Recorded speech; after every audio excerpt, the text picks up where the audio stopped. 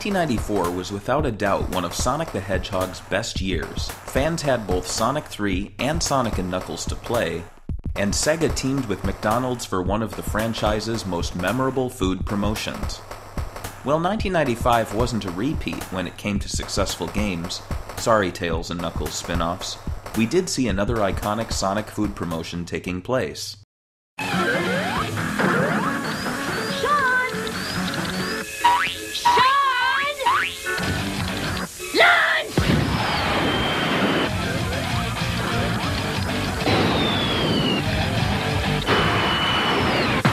Food. Sonic the Hedgehog pasta new from Franco American.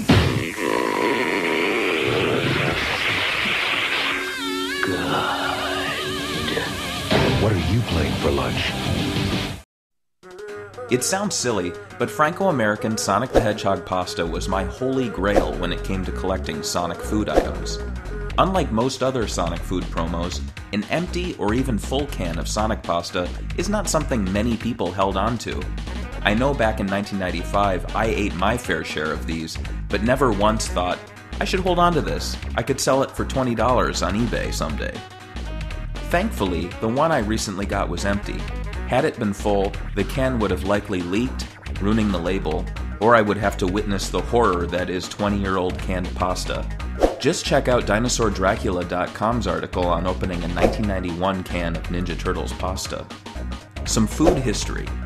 Franco American began as a company in the late 1800s and was soon bought out in 1915 by the Campbell's Soup Company. As the years went on, fewer products were marketed under the Franco American name, with Campbell's preferring their own name for soups. Up until 2004, Franco American was almost exclusively pastas, including spaghettios and gravy. However, since 2004, most Franco American products have shifted over to Campbell's, though a small Franco American logo can still be found on the back of Campbell's pasta products, and apparently the brand is still used in parts of Canada. Sonic's history with Franco American was surprisingly long, with the aforementioned 1995 pasta in both meatball and no meatball varieties, as well as a 1996 variation on the pasta which featured a game piece for the Sega Scratch and Scream Stakes contest. Food. Sonic the Hedgehog pasta new from Franco American. Good. Now you can play the sweepstakes where everyone wins. The Sonic Scratch and Scream Stakes. Cool. Prizes like Game Gear your own Sega game station. Very cool.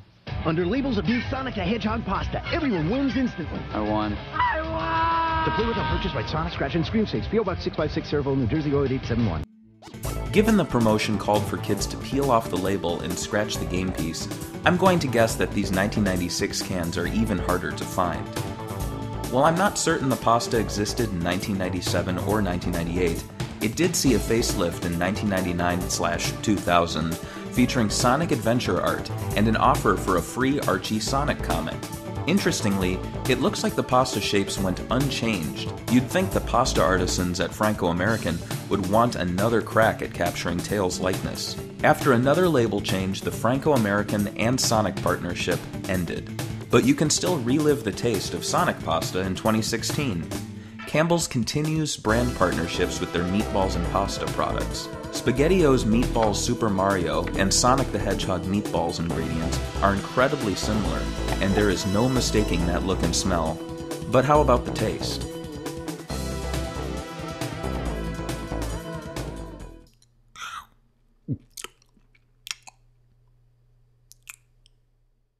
Still disgusting. I wouldn't have it any other way. See you next time on Fastest Food Alive. More Sega and Sonic history can be found at segabits.com. And also don't forget to like, subscribe, comment, and check us out on all major social networks.